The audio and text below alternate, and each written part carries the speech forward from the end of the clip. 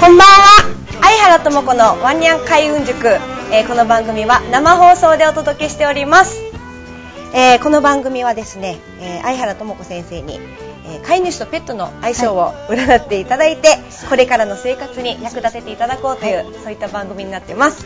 というわけで、えー早速本日の主役、えー女優であり、日本画家であり 心理相談員であり、えーまた僧侶の免許もお持ちで、えーなんとなんと動物のアニマルコミュニケーターの免許をお持ちという、えーすごい肩書きをたくさんお持ちいらっしゃいます、えー相原智子さんよろですしくお願いします。はい。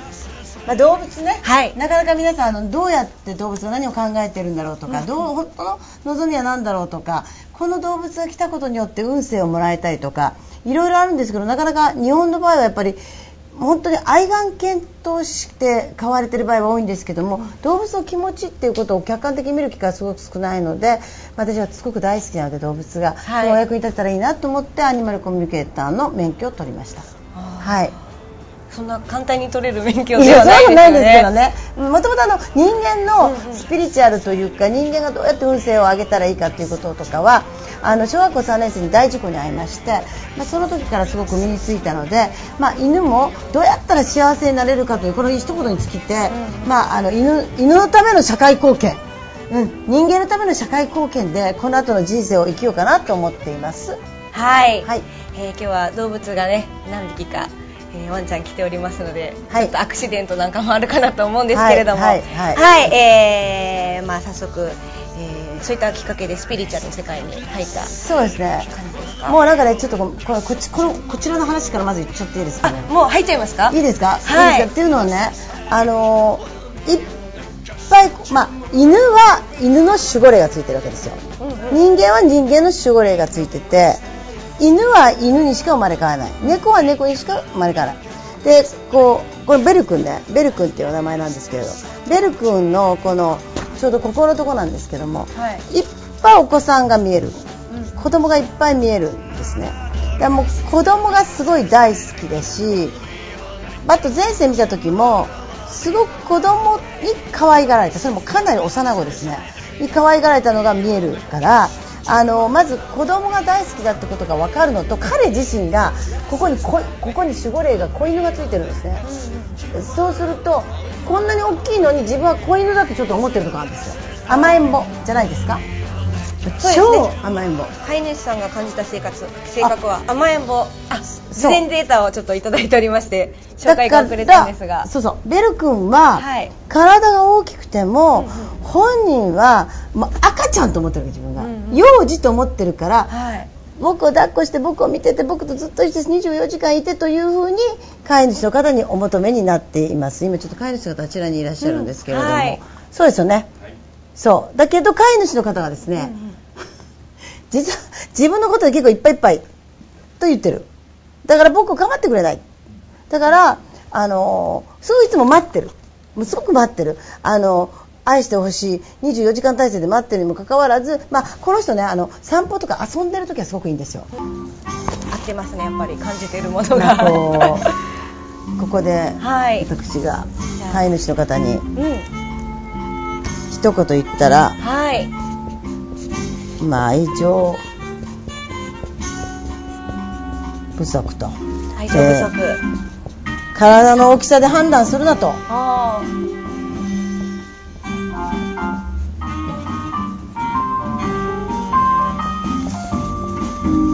抱きしめてほしいって。ーうん。抱きしめるの大変ですけどね。ね。まあこのようになっておりどちら見たらいいかな。はい。抱きしめてほしい。愛情不足。体の大きさで判断するの甘えたいじゃあ10分でいいです寝る前に。これ落ち着くでしょ？これ通訳と落ち着くんですよ。うん。あ僕の言いたいこと他にありますか？寂しかったと。これね不思議なんですけどね。通訳した後ねおとなしくなるんですよね。やっぱ分かってもらえると安心するんですかね、まあ、5分でも10分でもお願いしていいですかね、パ、えーガウディ君。トイプードルのねガウディ君4歳、えーではよろしくお願いします、とても、まあ、い。まあ、一転して可愛いというか。さっきとのさギャップがすごいですよね。はい。ガウディ君ははい。気分屋さんということで伺っておりますが。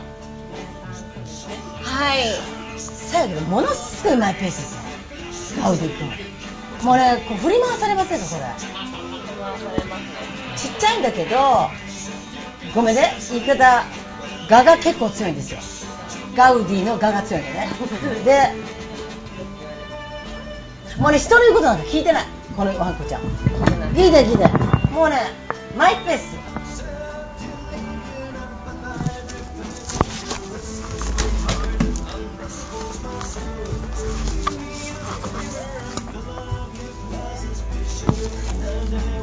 なんかお悩みとかありますか？あすいません。ごめんねいろんなことに